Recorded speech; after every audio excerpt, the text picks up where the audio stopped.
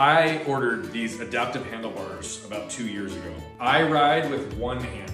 My left side, I can't squeeze the grip and I cannot shift. So I have all my controls on the right side. I've got both head units for my brakes, right and left, or front and rear brakes are here, seat dropper, and then gear shift all in one hand. All my controls are on the right side. The left side is gonna be really incredible when it's done.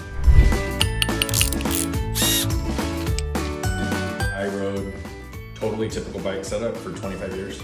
And I started doing modifications like two, three years ago. And the brakes leveled up my game just in and of itself because I actually could trust it and I had like so much control. And then, that's okay, You're, good job, bud. And then um, the steering damper was like, it took such unstable riding because if I'm riding like this, right, I don't have a tricep on the left side of my arm. And so, and I don't have a lat on the left side of my back. So literally everything is just like, I'm just trying to absorb it. But that also means that if I weight shifts to this side, I don't have any stability, or if it gets bumped, or you know, I don't have a tricep, so I can't like hold it out straight so to, to adjust.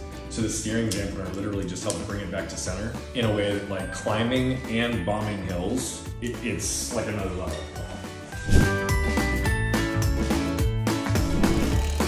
It'll be cool, but I'm gonna definitely have to relearn. Whoa, Yeah. What is that? So this deer is to my grip is my weakest part on my riding. Oh, so that since um It since, straps my arm to the bike. I worked with this really awesome company in Europe. They're in the UK specifically, and they designed this. So if I fall off, this is strapped to my wrist, my hand goes up, and my arm comes loose. How cool is that?